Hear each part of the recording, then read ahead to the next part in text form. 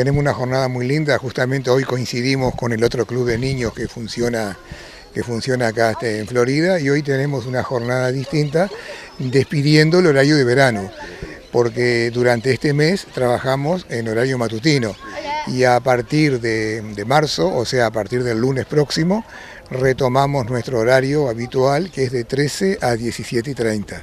¿Hay lugar todavía para poder estar? eh, Sí, los chicos? aprovechamos aquí la, la oportunidad que todavía quedan algunos lugares eh, y aprovechamos para invitar a las personas, aquellas que estén interesadas, que se den una vuelta por el club.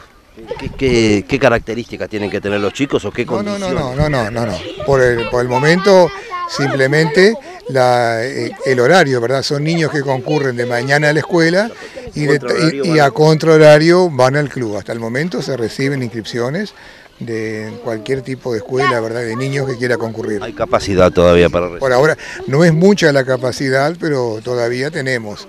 Es importante decir que el- el- el- se cuenta con un equipo que tiene realmente conocimiento, un equipo que funciona, que son cuatro docentes, eh, tienen deberes vigilados, tienen inglés, tienen talleristas de manualidades, de de, teatro, de educación física. eh, tienen distintas, hay servicios de odontología y este, se hacen paseos. Nuevamente este año posiblemente se pueda concurrir a la piscina y se cuenta con un equipo técnico de psicólogo y trabajadora social, o sea, un equipo que realmente atiende todas las necesidades.